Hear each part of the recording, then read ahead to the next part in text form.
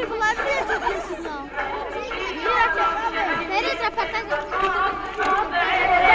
2019-2020 eğitim, öğretim, Mevlid-i Nebi programına hoş geldiniz. Yüce Yaratıcımızın insanlığa gönderdiği en son rahmet elçisi, insanlığın kurtuluşu için gönderilen son ve en büyük peygamber, Allah'ın sevgisi peygamberimiz, Efendimiz Hz. Muhammed Mustafa sallallahu aleyhi ve sellemin dünyaya gelişinin 1448. yıl dönümü münasebetiyle Gazipaşa Ortaokulu olarak düzenlemiş olduğumuz programa hoş geldiniz. أعوذ بالله من الشيطان الرجيم بسم الله الرحمن الرحيم يا أيها الذين آمنوا أطيعوا الله وأطيعوا الرسول وأولي الأمر منكم فإن تنازعتم في شيء فردوه إلى الله والرسول إن كنتم تؤمنون بالله واليوم الآخر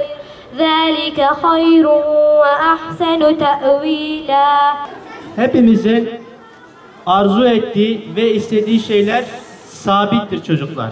Nedir? Başarılı olmak, huzurlu olmak, güzel bir aileye sahip olmak, temiz giyinmek, saygı gösterilmek, değer verilmek ve sevgi saygı içinde yaşamak. Bütün ümidimiz bu dünyada budur. İşte bunu sağlamış olan Peygamber Efendimiz huzuru da, mutluluğu da, insana değer vermeyi de hepsini oturtmuş bir kişisi, kişiliktir, bir şahsiyettir. Ve o şahsiyete göre bakıp yaşarsak zaten bu istediklerimizin hepsi olur ve yerine gelir. Örneğin bugün yalan söylemeyen bir çocuk peygamberin istediği noktadadır. Bak bugün yalan söyleme. Bugün iyilik yapan bir çocuk yine peygamberin istediği noktadadır. Müslümanlığın zirvesindedir. Ve herkesin önündedir. Hele hele çalışmak için, gelişmek için üstüne koyan çocuk, öğrenci bizim için tamamdır. Gözlerinden öperiz. Yeni yapmamız gerekiyor. Gereken nedir? Şu ağzımızdan kötü laf çıkmayacak. Arkadaşının dedikodusunu yapmayacaksın. İyi ki Peygamber Efendimiz doğmuş. İyi ki hepiniz bu şerefe nail olmuşsunuz. Kendimizin de o seviyeye ulaşması için kocaman bir alkış alalım kendimize. sana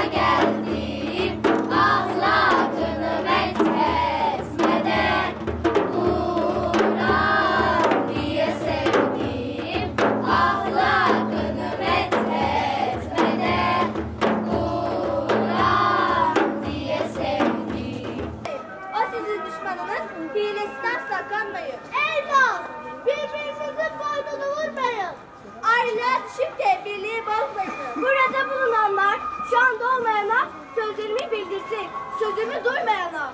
Belki de sizden fazla sözümü tutabilir ve sizden daha iyi evde uyuyabilirim. Faizin her türlüsü haramdır. Çiğniyorum. Cahiliyet devri. Bu işe saklıyorum. Kan gütmek her şekliyle yasaktır söylüyorum. Hepsini ayağımın altında çiğniyorum. Evet sayın seyirciler, Mevlid Kandili Haftası nedeniyle sokağa çıktık. Kameramanımız Gülnaz Akyüz, ben Fadile Akan. Peygamberimizi ne kadar tanıdığımızı öğrenmek için insanlara mikrofon uzatacağız. Eminiz ki onunla alakalı birçok güzel ifadeler vereceğiz. Heh, teyzemize bir soralım. Merhaba teyzeciğim. Merhaba evladım. Kulaklarım duymuyor. Biraz daha bağırır mısın? Merhaba teyzeciğim. Merhaba evladım. Bu hafta Mevlid Kandili haftası. Hz. Muhammed hakkında neler söyleyeceksin? Ah evladım ah. Rahmetli çok büyük insandı. Bir dediğimi iki etmemişti. Nur yüzlü. Öyle mübarek, öyle mübarek bir insandı. Siz nereden tanıyorsunuz rahmetli evladım? Onu tanımayan mı var teyze? Kainatın efendisini kim tanımaz ki? Ha, yalnız evladım? Çıkaramadım da. Efendim merhaba. Merhaba. Röportaj yapıyoruz. Bir konu hakkında size tanışabilir miyiz? Buyur. Bu hafta Mevlid Kandili haftası. Hz. Muhammed hakkında neler söyleyeceksiniz? Oğlun adını anarken sana vazgeçin bacım. Evet sayın seyirciler. Nihayet onu tanıyan birine rastlamış bulunuyoruz. Evet. Çok büyük insandı. Bu alemde onun üzerine tanımam. Benim bildiğim 15 leşi var. 20 kişiyi sakat bırakmış. Birçoğu elinden zor kurtularak ta finale kadar kaçmıştır. Ama gariban babasıdır ha. Öyle sanmayın. Yanlış anlamayın. Rahmetliye ben yetişemedim. Bir nasip olmadı mübarek. Bir an heykeline dikelim dedik. Belediye izin vermedi. Ama onun yeri Ahabra'dadır ha. Yanlış anlaşıldı galiba. Sizin bahsettiğiniz insanla bizimkisi farklı herhalde. Bizim bahsettiğimiz insan değil insanları öldürmek kötü bir tek söz bile söylememişti. Asla kimsenden de beklediğimiz cevabı alamadık.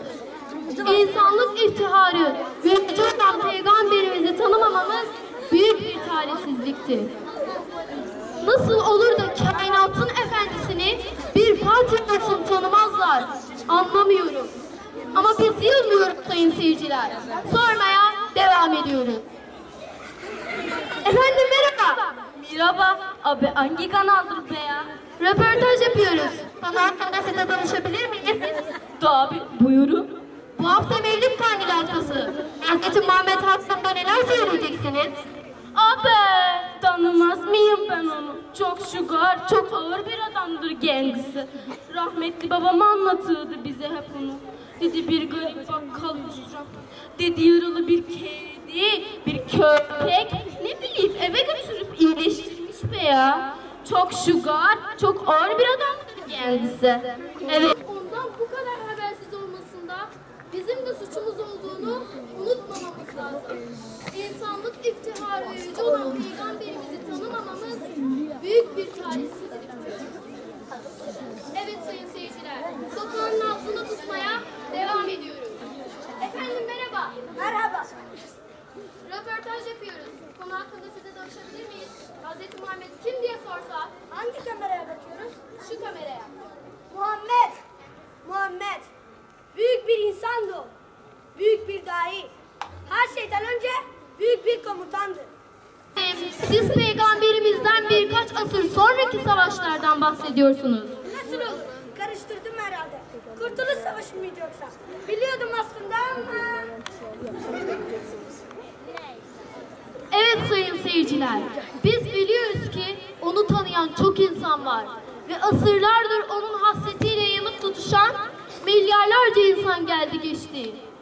Ama biz programımızda onu tanıyan birine rastlamamanın üzüntüsüyle programımıza son veriyoruz.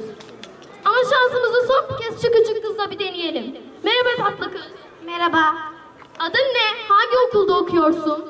Adım Meryem. Gazi Paşa İmam Hatip Ortaokulu'nda okuyorum. Peki Meryem, Hazreti Muhammed kimdir? Tanıyor musun? Tabii ki tanıyorum. Bu hafta onu anma adına her sene kutlanan Mevlid Kandili Haftası. Peygamberimiz 571 yılında Mekke'ye teşrif etmiş. 63 yaşında Medine'de vefat etmiştir. Yetim dünyaya gelmiş, 6 yaşında annesini kaybetmiş. 40 yaşında peygamberlik verilmiştir. O son peygamberdir ve bizim peygamberimizdir. Aslında hepimiz onu tanıyoruz ve tanımak zorundayız. Çünkü cennete giden yol onu tanımaktan geçiyor. O alemlerin efendisidir. Yaşlara merhamet vesilesi diyen, küçüklerine saygı gö- küçüklerine saygı göstermeyen, büyüklerine saygı göstermeyen bizden değildir diyen insan. O merhamet şefkat peygamberidir. Bir tek insanı bile incitmemiştir. Merhamet edilmeyene merhamet edilmez diye buyurmuştur. O gönüllerin efendisidir. Güller onun simgesidir. Çünkü o hayatı boyunca güller bari güzellikler sunmuştur insana. Bir filozof onun hakkında Muhammed eğer bir peygamber olmasa bile büyük bir dahidir. Çünkü cahil bir topluma dünyayı insanlığı öğreten bir medeniyet çıkarmıştır der. Ya Resulallah, keşke senin zamanında çocuk olsaydık. Seninle oyunlar oynayabilseydik.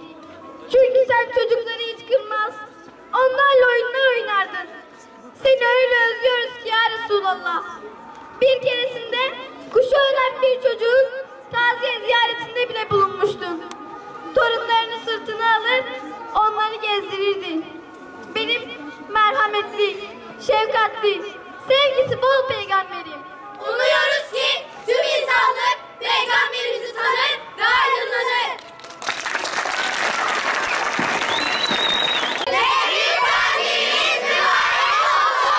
Peygamber Efendimiz Yüce Yaratıcımızın insanlığa gönderdiği en son rahmet elçisidir. O insanlığın kurtuluşu için gönderilmiştir. Müslümanlar o Müslümanlar için gönderilen son peygamberdir. Biz onu çok seviyoruz. Onun sayesinde insanlıkta şu an biraz saygı, biraz barış varsa çünkü hepsi onun sayesindedir. Yani biraz saygı, biraz sevgi varsa o da peygamberimiz sağlamıştır. Peygamber Efendimiz bizim için çok önemli. Onun için te- teşekkürler. İyiyi, doğruyu, güzeli öğrettiği için ve hep hep bize güzel davranışları öğrettiği için onun için ona teşekkür ederiz. Hocalarımız başta söyledi sonra biz de bunu yapmaya başladık. Yavaş yavaş çalıştık sonra da şimdi de peygamberimiz için söyledik. Etkinlikler sürekli olsun. Sürekli. Kendimi çok mutlu ediyorum. Zaten her sene olduğu gibi peygamberimizin şefkatliliğini, dürüstlüğünü, cömertliğini kutluyoruz. Günahsız bir nur gibi doğdu ve öldü. Onu çok seviyorum. Peygamberimizi seviyoruz. Peygamberimizi çok seviyoruz. Yerden geçerek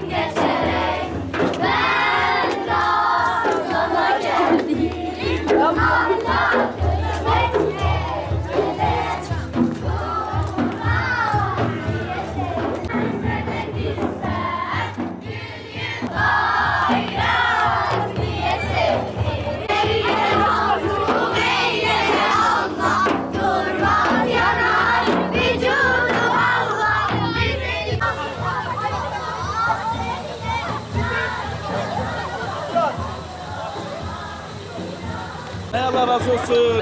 Allah razı olsun. Allah razı olsun. Berhudar olun. Teşekkür ederim. Ee, bu etkinlikler iyidir.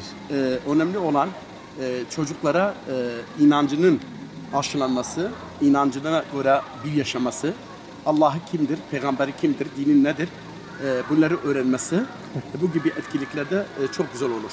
E, hocalarımız olsun, öğrencilerimiz olsun, kendilerini e, daha e, bir e, güzel e, ahlak için yaşayabilmesi için e, dinin iyice öğretilmesi lazım.